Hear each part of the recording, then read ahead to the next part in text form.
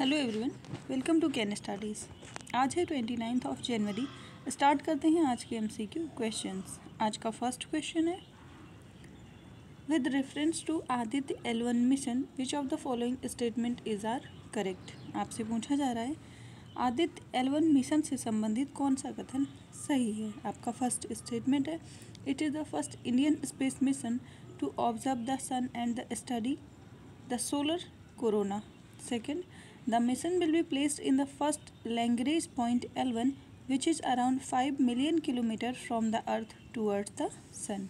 Third, visible emission light coronagraph payload on the mission will be capable of simultaneous imaging, spectroscopy and spectropolymmetry close to the solar limb. आपको Aditya L mission से संबंधित सही कथन का चुनाव करना है आपका करेक्ट ऑप्शन हो जाएगा।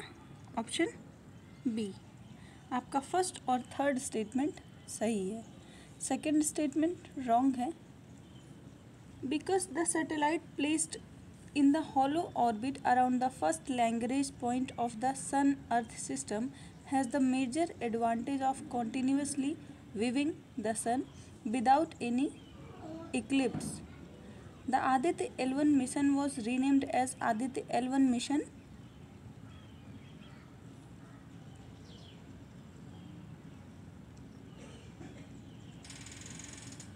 which will be inserted in the hollow orbit around the L1 and it is 1.5 million kilometre from the earth toward the sun तो जो यहाँ पे दिया है 5 मिलियन ये रॉन्ग दिया हुआ है बाकी आपके फ़र्स्ट और थर्ड स्टेटमेंट करेक्ट है।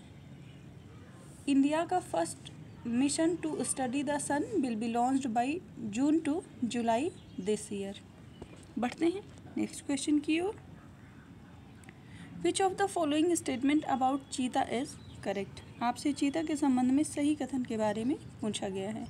आपका फ़र्स्ट स्टेटमेंट है cheetah are declared extinct in India from 1950 second African cheetah are listed as endangered by the International Union for Conservation of Nature Red List of Threatened Species. Third, recently Noradehi Wildlife Sanctuary, Madhya Pradesh is selected as the first site of reintroduction of cheetah in India.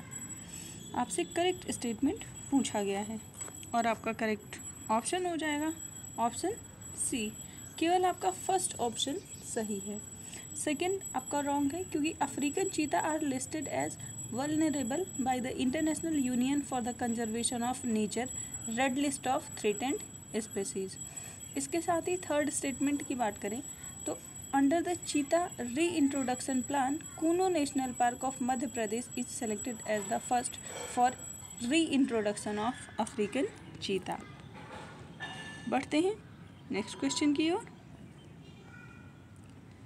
Where was the summit on quali, quality of biologicals organized by National Institute of Biologicals on 27th जनवरी 2023 आपसे पूछा जा रहा है 27 जनवरी 2023 को national institute of biological द्वारा जैविक गुणवत्ता पर शिखर सम्मेलन कहाँ आयोजित किया गया है?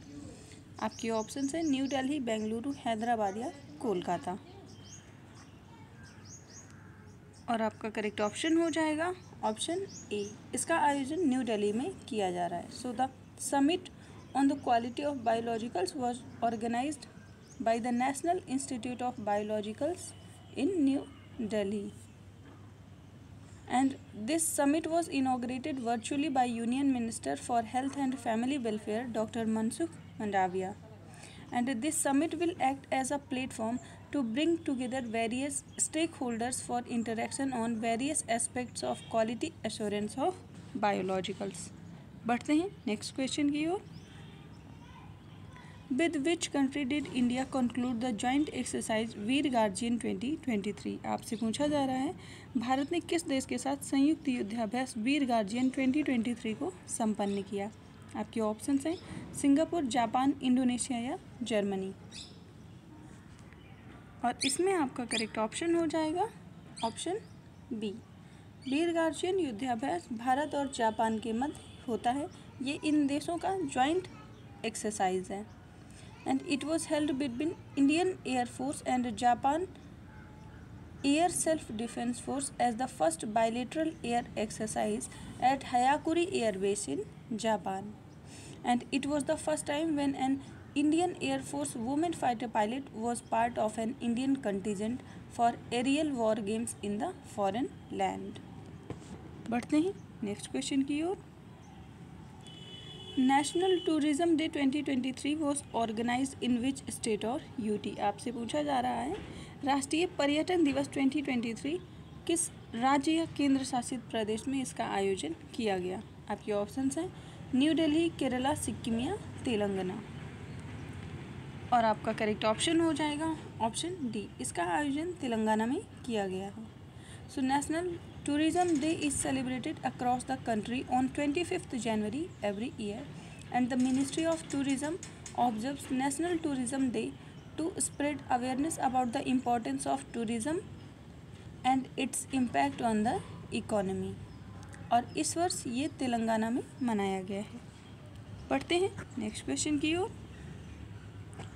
As per the Finance Ministry data, the Atal Pension Yojana subscribers figure crossed which milestone in year 2022? आपसे पूछा जा रहा है वित्त मंत्रालय के आंकड़ों के अनुसार अटल पेंशन योजना में धारकों का आंकड़ा 2022 में किस अंक को पार कर गया है? आपके ऑप्शंस हैं one million ten million five million या फिफ्टी मिलियन और आपका करेक्ट ऑप्शन हो जाएगा ऑप्शन बी ये आंकड़ा क्रॉस हुआ है टेन मिलियन का। Atal Pension Yojana is a pension scheme that target towards unorganized sector worker. It saw the highest ever subscriber in year 2022 with enrollment rising 36%.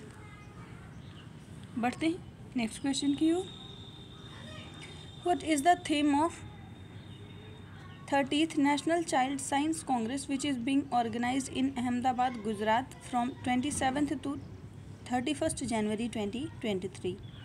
आपसे पूछा जा रहा है, तीसवीं राष्ट्रीय बाल विज्ञान कांग्रेस का थीम क्या है, जो सत्ताईस से इकतीस जनवरी ट्वेंटी ट्वेंटी थ्री तक अहमदाबाद, गुजरात में आयोजित किया जा रहा है। आपसे थीम पूछा गया है, आपके ऑप्शन हैं, know your ecosystem, science, technology and innovation for a clean, glean, clean, green and healthy nation. Third, science for sustainable living. या अंडरस्टैंडिंग इकोसिस्टम फॉर वेलबींग और आपका करेक्ट ऑप्शन हो जाएगा। Option C science for sustainable living बढ़ते हैं next question की ओर। In which city was north India's largest floating solar project inaugurated आपसे पूछा जा रहा है। उत्तर भारत की सबसे बड़ी तैरती सौर परियोजना का उद्घाटन किस शहर में किया गया? आपके ऑप्शन हैं चंडीगढ़, नासिक राजकोट या श्रीनगर। और इसमें आपका करेक्ट ऑप्शन हो जाएगा। ऑप्शन ए ये उद्घाटन चंडीगढ़ में किया गया है। बढ़ते हैं नेक्स्ट क्वेश्चन की ओर। In which state will the seventh nature and bird festival will be organised. आपसे पूछा जा रहा है, सातवां प्राकृतिक और पक्षी महोत्सव किस राज्य में आयोजित किया गया? आपके ऑप्शंस हैं, मध्य प्रदेश, हिमाचल प्रदेश, उत्तर प्रदेश या आंध्र प्रदेश। और इसमें आपका करेक्ट ऑप्शन हो जाएगा। Option C Uttar Pradesh. आज के करंट अफेयर्स में इतना ही। धन्यवाद।